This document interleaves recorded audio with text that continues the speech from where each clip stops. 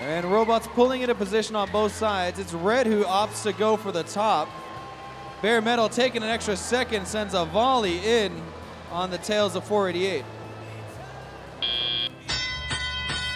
When all is said and counted, 13 kilopascals of pressure along with 13 points have been added to the Red Alliance tally.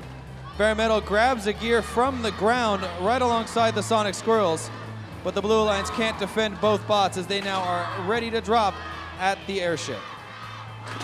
Sonic Squirrels quickly having deployed that gear are on the hunt for another one already. In possession now for Red, they plow through the fuel and they collide with the Blue Alliance machine who tries to go for the retrieval zone.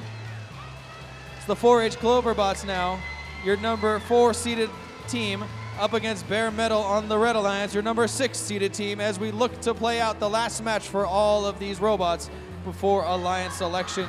90 seconds of playtime left, drivers beginning to sweat as the Blue Alliance lead stands strong and Red works as best they can to pull up that last gear. Not really sure what's up with the Red Alliance rotor system. They're having a tough time getting it going while Blue pulls into the lead.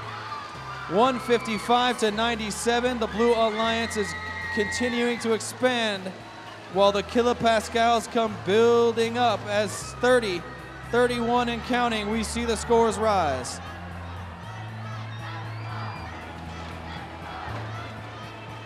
This may come down to pressure up against Gears as the Red Alliance Gears are not seeming to get going here.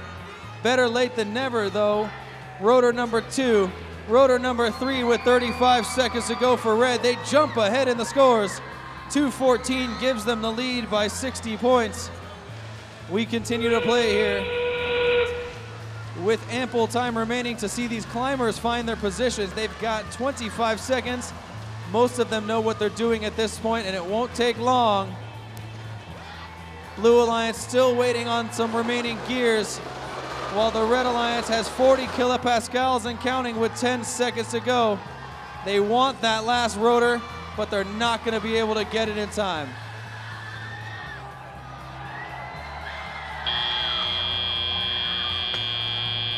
What a fantastic final showing here for these robots in what will be their last qualification match of the day.